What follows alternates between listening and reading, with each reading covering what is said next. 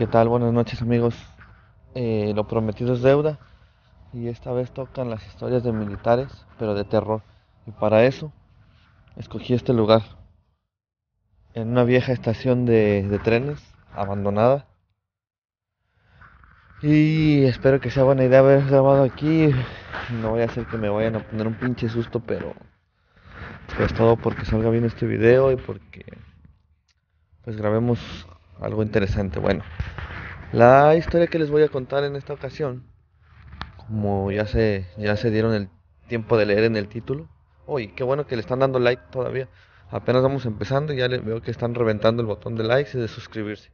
Eso me da mucho gusto. Bueno, en esta ocasión les voy a contar la historia donde nos mandaron una vez a, a una hacienda vieja. Como pueden ver, está haciendo frío. Bueno, salimos una sección del sexto regimiento mecanizado con destino a, a la sierra de, de, San Felipe, Guanajuato. ¿vale? Entonces salimos una sección, salimos 30 personas, entre ellos pues el comandante de la, de la sección que es un teniente, salimos eh, el que manejaba el, el camión, el conductor, el de transmisiones, el de la radio, uno de sanidad y o 26 o 27 elementos entre sargentos, cabos y soldados a operaciones. Regularmente salíamos a esos lugares a operaciones de operaciones mixtas o operaciones eh, de diferentes tipos de, de, actividades, ya sea patrullar un área, poner puestos de, de revisión o de control, o etcétera, etcétera. Bien, entonces para eso, como ya les he platicado, siempre nos quedábamos en casitas de campaña, donde pues regularmente pues donde nos agarraba la noche digamos en esta estación vieja pues buscábamos un lugar claro un planito donde poder poner las casitas de campaña y empezar a poner vigilancia a diferentes lugares. Bueno en esa ocasión el comandante de la unidad el coronel eh, tenía de amigo a un, a un señor ya de avanzada edad ya, ya de la tercera edad y él tenía una hacienda que él cuidaba mucho, pero era una hacienda vieja, casi como como este lugar, así como este como esta estación de, de trenes abandonada y vieja, así más o menos. Entonces, bien recuerdo que nos dijeron que íbamos a llegar a esa hacienda vieja. La única condición que tenía el señor era que le mandaran de la unidad del regimiento eh, gente que también son ahí albañiles en la unidad para que le ayudaran ahí a, a echar un piso o hacer cosas de albañilería, de construcción.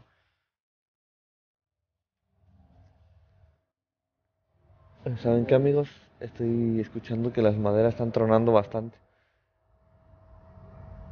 Pero bueno, puede ser mi imaginación. Bueno, entonces se mandaron a, a un cabo y a un soldado a que hicieran trabajos de construcción. Eh, para esto, si ven algo atrás de mí me avisan, ¿eh? Bueno, o algo abajo, porque todo esto está hueco abajo. Bueno, mandaron a esos dos soldados, a ese cabo y a ese soldado que hicieran trabajos de construcción. Entonces nos tocó quedarnos en esa hacienda vieja. Para esto, esta hacienda pues estaba pues casi en ruinas. Tenía, eh, para empezar estaba escondida, pasaba la carretera y de ahí todavía corríamos como, como 15 minutos en terracería y estaba muy bien, bien escondida. Entonces la única forma de llegar ahí era en carro y no había otra forma de llegar. Bien, en la hacienda había varios, varios cuartos. A la entrada estaba una cocina y estaba como que un cuarto como que era para recibir a la gente. Después en medio, contra la entrada así, era una puerta en arco y al lado luego luego entrando a la derecha estaba la cocina. Entrando a la izquierda estaba como un cuarto como para recibir a la gente y de ahí pasabas a otro arco y estaba un patio en medio donde tenía un pozo de agua en medio, un árbol grandísimo en medio y alrededor había cuartos, así cuartos, cuartos, cuartos, cuartos y hasta el fondo estaba otra puerta que daba acceso a unos corrales que estaban atrás, como corrales como de, pues sí, corrales, había de esos cajones como para tener los cerdos, eh, otros tejados como, como para tener borregos, chivos y de, más allá había otra puerta que daba para donde estaban uno de como una bodega de forrajes y más atrás otro patio donde estaban otras cosas, pero ya había muchas cosas que estaban derrumbadas. Bueno, entonces Lo único que iluminaba todo ese lugar era en la puerta principal para afuera estaban unas jardineras, un baño y otros eh, cuartitos ahí como de bodegas y lo único que iluminaba era una, una sola lámpara como estas lamparitas que están aquí de la calle, de esas lámparas de calle, era todo lo que iluminaba ese lugar. Entonces a veces se apagaba y empezaba así a parpadear y apagarse. Les juro, les juro que escucho que truena la madera como si caminara. Bueno, el chiste es de que se los prometo que alguien está dentro caminando. Porque me voy a poner a grabar este video. Me estoy poniendo nervioso. Bueno, eh, ¿qué le estaba diciendo? Ok, que había toda esa estructura así de que estaba repartido de esa manera, pero estaba completamente abandonado. Entonces nosotros llegamos y llegaron pues la gente a limpiar y hacer aseo y todo para quedarnos ahí. El problema es de que el lugar estaba un poco lúgubre, un poco tenebroso. Entonces en la parte de afuera, donde estaban las jardineras, pusimos un parapeto. El parapeto son costales de tierra, así, con un tejadito así para el sol, donde estaba el vigilante, ¿sabes? Para vigilar lo que era la carretera de la entrada, todo lo que era el frente. Para la parte de atrás ponían otro vigilante para vigilar la, parte de atrás, ¿vale? Entonces esa sí era como nos poníamos nuestra seguridad mientras estábamos ahí la seguridad. Les juro que escucho ruidos y me quiero largar de aquí. Pero bueno, les voy a acabar de contar. La seguridad de ese lugar era mientras estábamos ahí. Entonces este, me estoy perdiendo, me estoy perdiendo de la, de la historia, sinceramente, muy nervioso porque siento que en cualquier momento se va a, asomar alguien por aquí o algo. O algo, no sé, no sé. Bueno, les sigo contando. Entonces, bueno, esa era la seguridad que poníamos ahí, salíamos a operaciones y todo. Entonces, como ustedes saben o si no saben, hay que hacer guardia cada, eh, cada tres horas hay que cambiar a los guardias o dependiendo del comandante que esté, pero por lo regular son cada tres horas. Y en la noche ya se reparte uno las guardias entre toda la gente que está ahí. Eh, digamos, soldados y cabos, ahora pues fórmense y son tantos, van a ser como eran dos vigilantes o tres, si éramos 15 por ejemplo, hacíamos cinco guardias en la noche de las 9 a las 6 de la mañana y ya nos repartíamos, nos tocan de dos horas 15 minutos o de una hora 40.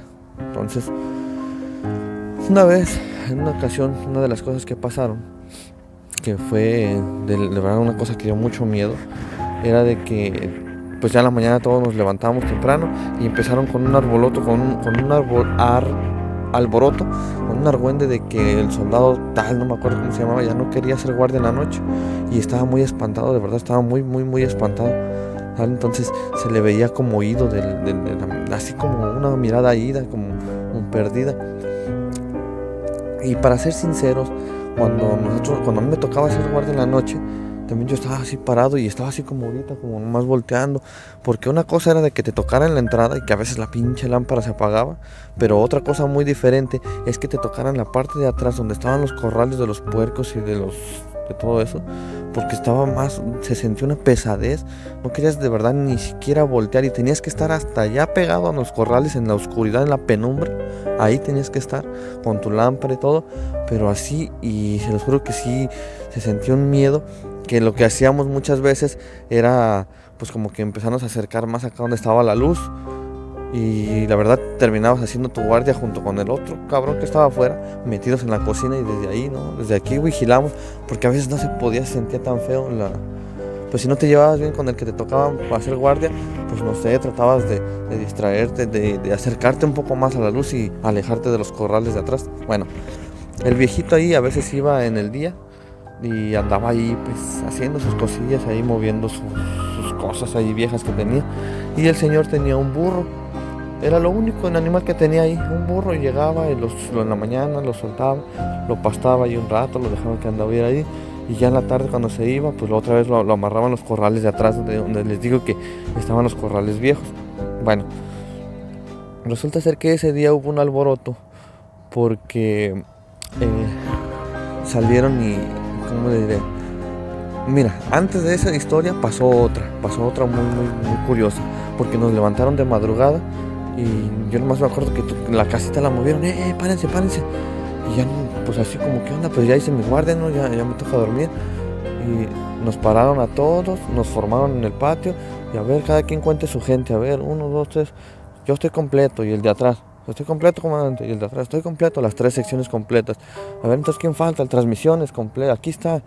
El de sanidad, aquí está. El del radio, ¿no? Aquí estoy, comandante. Y entonces, dice, lo que pasa es que el vigilante dice que cuando estaba él haciendo guardia salió alguien y que le dijo, ahorita vengo, vigilante, voy a, voy a orinar. Y se dio la vuelta por atrás de la hacienda y le dio toda la vuelta. Y si tardó minutos, como 10 minutos, no llegaba, media hora, ya que se empezó a espantar el, soldado y fue y levantó a su sargento, le dijo, ¿sabe qué, mi sargento? Alguien salió y dijo que iba a ir a orinar y ya no regresó. Dijo, no creo que se haya ido por atrás y ya haya brincado la barda. El otro vigilante de atrás dijo, no, acá no, no, no ha pasado nadie porque se podía entrar por el otro lado. Y entonces fue que el comandante, pues, el, el sargento fue y levantó al teniente y le dijo, ¿sabe qué, comandante? Creo que alguien ya se nos, se nos fue o se escapó a... Porque regularmente uno se escapaba a veces a los pueblitos cerquitas ahí a tomarse una cerveza, a ver a una muchacha que hayas conocido o algo. Entonces dice, no, ya se desafanó uno. ¿Y quién es? No, pues no sabemos, cuéntenlo. Y entonces empezaron a contarlos y les digo que pasó eso. De que dije, no, que sí, el, vigilante, los dos vigilantes bien seguros. Y sí, sí lo vimos, lo vimos que iba saliendo y se dio la vuelta y, y cómo iba, no, pues así con el pantalón y la playera verde no traía camisola y bien seguros, bueno. Y el comandante dijo, pues estamos todos completos, órale a dormir. Entonces, pasaron días y pasó lo que les estoy diciendo. Que el, el, eh, el soldado ya no quería hacer guardia, en la mañana se el alboroto, y estaba espantado porque él dice que, que le tocó vigilar del lado de atrás hasta atrás donde estaban los, los, los corrales de los marranos, que ya estaban, o sea, que no había nada, pues. Ay, y les juro que alguien está ahí atrás. O no sé por qué truenan así las maderas. Bien, les voy a contar rápido porque ya quiero acabar este video. Eh, entonces el soldado cuenta que mientras él estaba haciendo vigilancia escuchaba que caminaban, pero ustedes saben cuando camina un animal como en cuatro patas, de tac, tac, tac, tac, tac, tac, ¿sale? Entonces él veía que era el burro, le echaba la luz y veía al burro. Y veía que el burro andaba dando así vueltecillas en su pedazo de corral que era un pedazo de corral grande. Se da cuenta que cerraban el corral así, cerraba el señor las puertas y todo el corral de los de los puercos y ahí todo, el burro andaba ahí por todos lados libre. Bueno, entonces dice que pues así se ponía nervioso y, y escuchaba tres ruidos y le echaba la lamparilla así y veía al burro y el burro andaba ahí, pues así, pero ya para otro lado no había nada. Entonces en una de esas, que dice que, que en una de esas de las que escuchaba ruidos, porque cada que escuchas ruidos hay que echar la lámpara a ver qué hay, la lámpara siempre la tienes que poner aquí lejos de ti. ¿Para qué? Para que si es algún enemigo, según si te dispara o te dispara en la mano y no te mata. Bueno, la lámpara entonces le echó el soldado y dice que no mames, hasta soltó la lámpara porque dice que cuando le volvió a echar, se echó la lámpara a todo alrededor. Cuando le echó la lámpara y le echó la lámpara al burro, que le pegó la lámpara al burro, el burro estaba caminando, a de cuenta, así como estoy yo. Con los dos, con solamente con dos pies y las otras dos manos las tenía aquí arriba y andaba así, mira, caminando así como, Ah, te juro que hasta se me enchina la piel de decirte que andaba así en dos patas caminando. Entonces que el soldado soltó la de esa y empezó y corrió donde estaba el otro compañero y le estuvo contando. Dice, oye, ¿sabes qué? Que